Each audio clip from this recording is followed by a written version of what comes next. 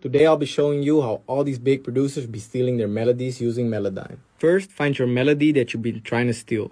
This even works with guitars. I dragged in the guitar melody from Splice into my DAW. Next thing you do is you select Melodyne on the track where the melody is being played.